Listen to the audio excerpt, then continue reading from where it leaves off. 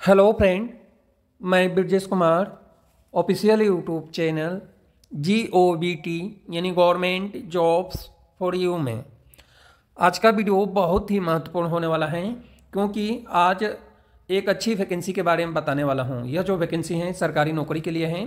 तो सबसे पहले मैं बता दूँ कि यह जो वैकेंसी है, दिल्ली में आया है और दिल्ली में हर कोई नौकरी करना चाहता है। तो यह वैकेंसी दिल्ली के कॉलेजेस में आया है। यानी यूनिवर्सिटी ऑफ़ दिल्ली के जो कॉलेजेस हैं, इसी कॉलेज में आवेदन आमंत्रित हैं। और एक अच्छी वैकेंसी है परमानेंट सरकारी नौकरी है। यानी परमानेंट गवर्नमेंट जॉब्स जिसको हम कहते हैं, यानी सरकारी नौकरी कहते हैं, इसी के लिए आवेदन आमंत्रित हैं। तो आज आप प्रिपेयर हो जाइए और तैयार हो जाइए कि जल्दी से आपको अप्लीकेशन फॉर्म फिल करना है। वो भी दिल्ली यूनिवर्सिटी ऑफ़ दिल्ली के जो कॉलेजेस हैं, इसी में आवेदन आमंत्रित हैं, जिसका नाम मैं सबसे लास्ट में बताता हूँ वीडियो में। तो आज का वीडियो बहुत ही महत्वपूर्ण होगा। सबसे पहले मैं बात, एक बात बता दूँ आपको कि मैं ऑलरेडी गवर्नमेंट सर्विस में हूँ और लाइब्रेरियन पद पे कार्यरत हूँ। बट मैं जो वीडियो बनाता हूँ, केवल आपके लिए बनाता हूँ कि आप इस वीडियो को लाइक करेंगे और शेयर करेंगे। और आप चाहते हैं कि इसी तरह का अपडेट और नई वीडियो आपको मिले तो इस चैनल को सब्सक्राइब भी करें। क्योंकि इस चैनल पे YouTube पर जितने भी वीडियो अपलोड की जाती है, सबसे पहले इस चैनल के थ्रू वीडियो अपलोड की जाती है। एक दो वीडियो को मैं हटा दूँ तो जिससे कि मेरे पास टाइम नहीं रहता है। तो जैसे यह जो वीडियो है, मुझे मॉर्निंग टाइम में बनाना चाहिए था, लेकिन मॉर्निंग टाइम में मैं एग्ज़ाम ड्यूटी में था, और इसलिए इवनिंग टाइम में मैं ये वीडियो बना रहा हूँ। अभी आधे घंटे के अंदर आप तक मैं पहुँचा रहा हूँ इस वीडियो को। तो इसलिए मैं कह रहा हूँ कि कुछ ऐसे कार्य होते हैं, जिसके टाइम से मैं वीडियो अपलोड नहीं कर पाता हूँ। अदरवाइज़ मॉर्निंग में मेरे पास टाइम नहीं था मॉर्निंग में ही यह नोटिफिकेशन मुझे मिल गया था। तो इसलिए, और आपके लिए मैं वीडियो बना रहा हूँ तो आप इस वीडियो को लाइक ज़रूर करना है। उसके अलावा आपको शेयर भी करना है वीडियो को, ज़्यादा से ज़्यादा शेयर करें, जिससे कि सभी लाइब्रेरी प्रोफेशनल्स और अदर जो वैकेंसी हैं, यानी नॉन टीचिंग की एक अच्छी वैकेंसी है क्वालिफिकेशन कोई ज़्यादा रिक्वायर नहीं है, और एक्सपीरियंस क्या रहेगा, इसके बारे में डिटेल जानकारी अभी नीचे चलेंगे तो हम बात करेंगे। मैं आपको बता दूँ कि यह जो वैकेंसी है परमानेंट है और हम बात करेंगे विभिन्न पद के बारे में। इसके बाद जो भी डिटेल जानकारी है, उसके बारे में हम डिस्कस करेंगे। तो देखिए, जो फॉर्म फिल करना है ऑनलाइन फॉर्म फिल करना है। अप्लीकेशन फॉर्म दिल्ली के जो भी कॉलेजेस में, यानी यूनिवर्सिटी ऑफ़ दिल्ली के जो भी कॉलेजेस हैं, जो भी महाविद्यालय हैं, जिसमें वैकेंसी आती है तो मात्र फिफ्टीन डेज़ यानी पंद्रह दिन आपके पास रहता है अप्लीकेशन फॉर्म फिल करने के लिए, चाहे कोई भी वैकेंसी हो। यूनिवर्सिटी ऑफ़ दिल्ली के जितने भी कॉलेज हैं, यानी महाविद्यालय हैं, सभी कॉलेज के लिए जो अप्लीकेशन फॉर्म फिल करने के लिए मात्र फिफ्टीन डेज़ ही दी जाती है। इसलिए आपको डिले बिल्कुल भी नहीं करना है। जल्दी से अप्लीकेशन फॉर्म फिल करना शुरू कर देना है। अब यहाँ पे जो है, यहाँ पे सीरियल नंबर दिया है, यहाँ पे पोस्ट का नाम दिया है, यहाँ पे नंबर ऑफ़ पद है, यहाँ से लेकर यहाँ तक कैटेगरी वाइज पद दिया गया है, यहाँ पे जो है एज लिमिट दिया गया है, यहाँ पे सेवन से पी सी के अनुसार सैलरी दी गई है। और इसमें लाइब्रेरी साइंस की फ़ील्ड में बात करें तो लाइब्रेरियन के लिए एक पद है और लाइब्रेरी अटेंडेंट के दस पद हैं। तो इस तरह से ये दस पद कम नहीं होता है। कम से कम दस लाइब्रेरी प्रोफेशनल्स को सरकारी नौकरी मिलेगी और एक लाइब्रेरियन पद के लिए लाइब्रेरी प्रोफेशनल को सरकारी नौकरी मिलेगी। इस तरह से नॉन टीचिंग की एक अच्छी वैकेंसी है। लेबोरेटरी अटेंडेंट की एक अच्छी वैकेंसी है। हमारे पास अभी चार दिन पहले ही कमेंट आया था कि, सर लेबोरेटरी अटेंडेंट से रिलेटेड या लेबोरेटरी असिस्टेंट से रिलेटेड वीडियो बनाएँ। तो देखिए वीडियो जो जितने भी इस चैनल पर अपलोड की गई है, हर वीडियो में लेबोरेटरी अटेंडेंट और लेबोरेटरी असिस्टेंट का पोस्ट रहता है। बट जो यूट्यूब पे आप जो थंबनेल जो देखते हैं, आप जो देख कर आकर्षित होते हैं, उसमें इतना हम जो वीडियो बनाते हैं, इतनी सारी इन्फॉर्मेशन उसमें नहीं लिख पाते हैं। जो हमें लिखना चाहिए था तो उसमें जगह बहुत कम रहता है। स्पेस के अभाव में हम कमी थोड़ा सा ही लिखते हैं और डिटेल जानकारी आपको प्रोवाइड करते हैं। तो इसलिए आप आप अभी वीडियो नहीं देखे हैं तो जाकर देख सकते हैं। अदरवाइज़ यूनिवर्सिटी आप इलाहाबाद में जो आवेदन आमंत्रित किया गया है और उसमें जो लाइब्रेरी साइंस की फ़ील्ड में एक अच्छी वैकेंसी थी नॉन टीचिंग की एक अच्छी वैकेंसी थी वो वीडियो आप देख सकते हैं। और ऑनलाइन अप्लीकेशन फॉर्म फिल कर, करने के लिए कल ही हमारे पास जैसे ही हमारे वीडियो अपलोड हुआ और अपलोड होने के एक मिनट के अंदर ही हमारे पास कमेंट आ गया कि sir online application form fill कैसे करना है? तो उसको एक मिनट के अंदर ही जब हमारे पास कमेंट आ गया तो उसके लिए मैं सेपरेट वीडियो बनाकर उसको अपलोड किया हूँ। आप वो वीडियो देख सकते हैं।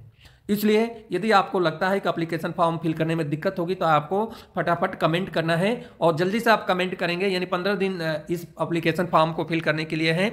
यदि आज ही आप कमेंट करते हैं तो कल आपको ऑनलाइन अप्लीकेशन फॉर्म फिल करते हुए वीडियो इस चैनल पर ज़रूर मिलेगा। तो इसलिए मैं आपको कहता हूँ कि जो भी आपकी रिक्वायर है, आप कमेंट के थ्रू कर सकते हैं। अब हम पद की बात करें तो देखिए लाइब्रेरियन का एक पद है जनरल कैटेगरी में और एल टेन का पद है। एल टेन के अनुसार सैलरी मिलेगा आपको एल टेन के अनुसार सैलरी बहुत अच्छी होती है। इसलिए मैं आपको कह रहा हूँ। और डायरेक्टर फ़िज़िकल एजुकेशन में एक पद है एल टेन का पद है। इस, दोनों पद के लिए कोई भी एज लिमिट नहीं है। यानी लाइब्रेरियन और डायरेक्टर फ़िज़िकल एजुकेशन दोनों पद के लिए कोई एज लिमिट नहीं है। आप पचास साल, साठ साल का है तो भी आप अप्लाई कर सकते हैं, क्योंकि कोई इसमें लिमिटेशन नहीं दिया गया है। सीनियर पर्सनल असिस्टेंट के लिए एक पद है, एज लिमिट है पैंतीस साल और एल सेवन का पद है। एल सेवन के अनुसार भी सैलरी अच्छी होती है।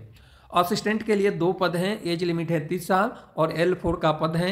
जूनियर असिस्टेंट के लिए टोटल पाँच पद हैं, जनरल कैटेगरी में दो हैं, दो पद ओबीसी में है, एक पद एसटी में है, सॉरी एसटी में है। और इस तरह से एज लिमिट है सत्ताईस साल और एल टू का पद है। देखिए, एल टू के अनुसार भी सैलरी की बात करें तो आपको बीस हज़ार से ऊपर ही होगा, कम नहीं होगा। तो इस बात को आपको टेंशन नहीं लेना है। बॉटनी लेबोरेटरी अटेंडेंट का विभिन्न विषय, यानी डिपार्टमेंट या विषय में आवेदन आमंत्रित हैं। तो हम विभिन्न विषय की बात करें तो बाटनी में दो पद हैं, जनरल कैटेगरी में। केमिस्ट्री में जो हैं, टोटल पाँच पद हैं और इकोनॉमिक्स में चार पद हैं, फिजिक्स में तीन पद हैं, जूलॉजी में दो पद हैं। इन सभी पद के लिए एज लिमिट है तीस साल और एल का पद है। लाइब्रेरी अटेंडेंट के लिए टोटल दस पद पर आवेदन आमंत्रित किया गया है। एज लिमिट है तीस साल। और एल वन का पद है। एल वन के मतलब कि आपकी सैलरी बीस हज़ार से कम नहीं बनेगी। ये मत सोचिए कि बीस हज़ार से कम होगा। तो इसलिए एल वन का मतलब अठारह से बीस हज़ार आपकी सैलरी हो सकती है। अठारह से ऊपर या और बीस हज़ार से ऊपर। यानी अठारह से ऊपर और तीस हज़ार के बीच में मान सकते हैं हम। अदरवाइज़ नीचे देखेंगे सैलरी दिया होगा तो मैं ज़रूर आपको बताऊँगा। ऑनलाइन अप्लीकेशन फॉर्म फिल करना है, इसके लिए यह लिंक है, इस लिंक पे जाना है, वहाँ से अप्लीकेशन फॉर्म फिल करना है, या रजिस्ट्रेशन के लिए लिंक दिया हुआ है। तो इस लिंक से आपको अप्लीकेशन फॉर्म फिल करना है। अब हम बात करें इस पद के लिए क्वालिफिकेशन क्या होनी चाहिए, जो सबसे ज़्यादा महत्वपूर्ण रहता है किसी भी वैकेंसी के लिए। तो क्वालिफिकेशन में लाइब्रेरियन के लिए master degree library information science में 55 परसेंट अंक होनी चाहिए। गुड एकेडमिक रिकॉर्ड और knowledge of computerise of a library है। यानी दोनों साथ में होना ज़रूरी है। इसके अलावा बिसाइड फुलफिल दी एब क्वालिफिकेशन यानी नेट सेट या सेलेट या पीएचडी में से कोई एक आपके पास है तो आप ज़रूर अप्लाई कर सकते हैं। या नेट हो या सेट हो या पीएचडी आपके पास है तो आप अप्लाई ज़रूर करें। और लाइब्रेरियन पद के लिए इतना क्वालिफिकेशन तो नॉर्मल रहता है, क्योंकि एडमिनिस्ट्रेटिव लेवल का पद रहता है। एज लिमिट है, इस पद के लिए यूनिवर्सिटी ऑफ़ दिल्ली और यूजीसी नॉर्म्स के अनुसार ही एज लिमिट इसमें दिया गया है। डायरेक्टर फ़िज़िकल एजुकेशन के लिए भी क्वालिफिकेशन सेम क्वालिफिकेशन है। और ए और बी दोनों क्वालिफिकेशन होना कंपलसरी है। एज लिमिट जो है, जो मैं बताया हूँ, वही है। इसके अलावा विभिन्न हाइट्स हैंड वोमेन के लिए नॉर्म्स हैं चेस्ट हैं, सब डिटेल जानकारी हैं। तो यह आप देख लेंगे केवल डायरेक्टर ऑफ़ फ़िज़िकल एजुकेशन के लिए।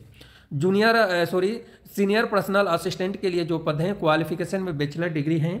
कम से कम तीन साल का एक्सपीरियंस और जो एक्सपीरियंस है, किस लेवल का होना चाहिए तो प्राइवेट सेक्रेटरी लेवल का, या पर्सनल असिस्टेंट या स्टेनोग्राफर या एग्जीक्यूटिव असिस्टेंट या एग्जीक्यूटिव सेक्रेटरी से संबंधित यदि स्कूल का एक्सपीरियंस हो, या किसी प्राइवेट ऑर्गेनाइजेशन या संस्था, या यूनिवर्सिटी का भी एक्सपीरियंस है तो भी काम चल जाएगा, आप अप्लाई कर सकते हैं एलिजिबल हैं।